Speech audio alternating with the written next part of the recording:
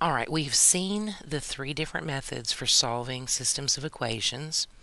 Uh, so this, this problem here says solve by any method. So let's do, uh, practice that elimination method again.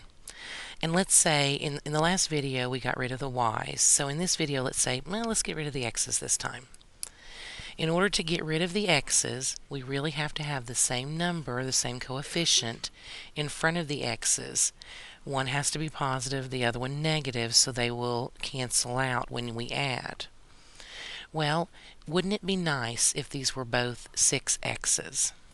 We can make that happen by multiplying the top equation by a 2. So when we do that, we'll have 6x, I'm distributing the 2, plus 4y equals 4. Now the bottom equation I'm not going to mess with, so that would be negative 6x minus 4y equals 8.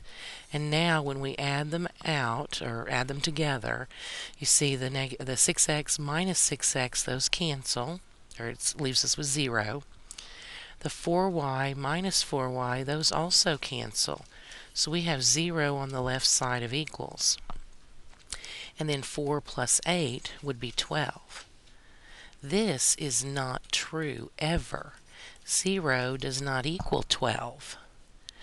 When we get an answer like this that is never ever going to be true, there's no way that 0 will ever equal something other than 0.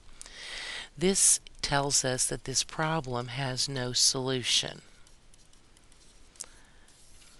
This is also called an inconsistent system because it does not have an answer. Oh, inconsistent system. Should write that correctly there. So this is an inconsistent system. Now, let's think about this for just a second. If these are two lines, and we were to be able to graph them, what kind of lines will never ever intersect, never have a point in common at all?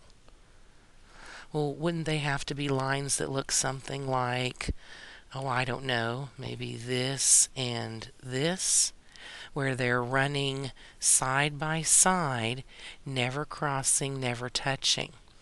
Well, if you'll remember, those are parallel lines. So parallel lines lines, not limes. Uh, parallel lines are actually called an inconsistent system because they do not have a solution to the system. There's no way that they're ever going to touch or cross, so they'll never have a point in common.